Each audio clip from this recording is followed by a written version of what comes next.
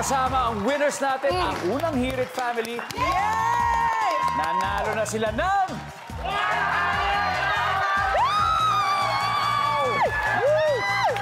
Kaya pang doblehin niya. Siyempre, si Susan ay nasa waiting area sa likod, kaya hindi niya tayo naririnig. So, Lynn, Yes. ready ka na? Five questions na kailangan sagutin within 20 seconds. Okay. Kung Ready. hindi sigurado, pwede ka mag-pass. Balikan natin kung may oras. Okay. Alright? Nervous ako. Kaya-kaya mo yan. Kaya-kaya mo yan. Give me 20 seconds on the clock, please. Here we go. Good luck. Nag-survey kami ng isang daang babae. Ilang months o years bago ka mag-move on after ng isang breakup? One year. Magkano ang ibinibigay mo sa pulubi? 20. Sport na hindi gumagamit ng bola. Oh. Gusto mong kulay ng kotse. Ah, white. Fill in the blank. First, blank. First, love. Sport na hindi gumagamit ng bola. Swimming. Tignan natin kung ilang, na, ilang points na kuha mo. Here we go. Okay. Ito po. Okay. Nag-survey kami, isang daang babae. Okay? Ilang months o years bago ka mag-move on after ng isang breakup. Sabi mo, very specific. One year. Ah, one year. Sabi ng survey dyan ay 15 points. Meron, meron, meron. Pwede, pwede, pwede. At least pasok. Magkano ang ibinibigay mo sa pulube? Sabi mo, 20 pesos. Survey, Pwede. Pwede. Pwede yan. Especially sa pandemic. 28 points. 157 to go. Sport na hindi gumagamit ng bola. Pinalikan natin to. Sabi mo, swimming. Sabi ng survey ay... Come on, come on, come on. Give me the big points. 121 to go. Gusto mong kulay ng kotse, sabi mo white. Ang sabi ng survey. Oh, Well, really? fill in the blank. First, blank. Sabi mo first, love. Ha? Survey, boom. There you go. Diba? Diba? 46 na lang. Lynn, back to your family first. Let's welcome back Miss Susan.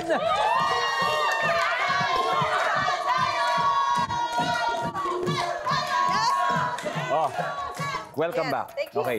Si Lynn, out of 200, sa tingin mo ilan nakuha niya? 200. Sana. Sana all. Tapos na.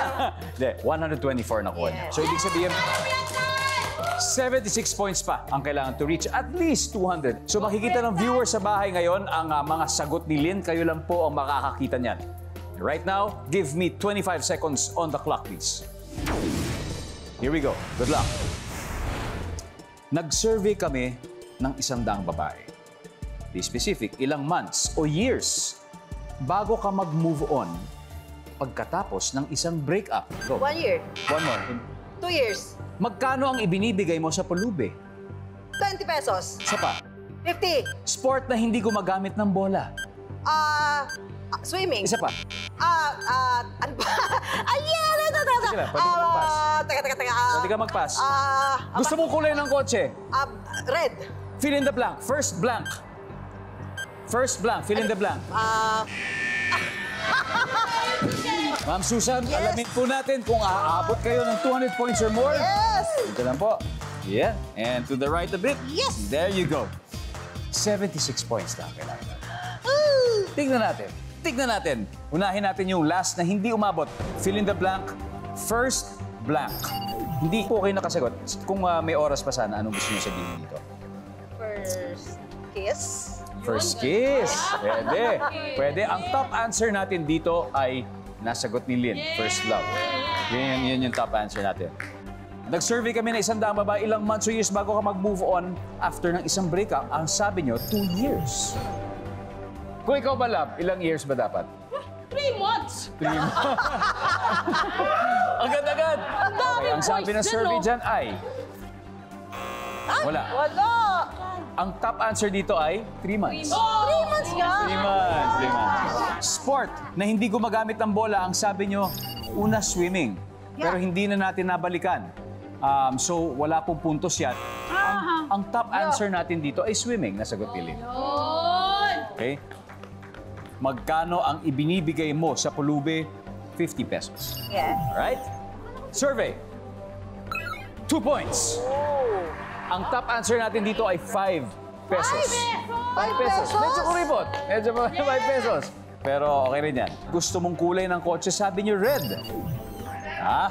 Survey! Oh! 33! Sayang, hindi umabot. Pero okay lang. Congratulations Thank pa rin you! sa inyo. Thank you, thank you! Nanalo pa rin po kayo ng 100,000 pesos!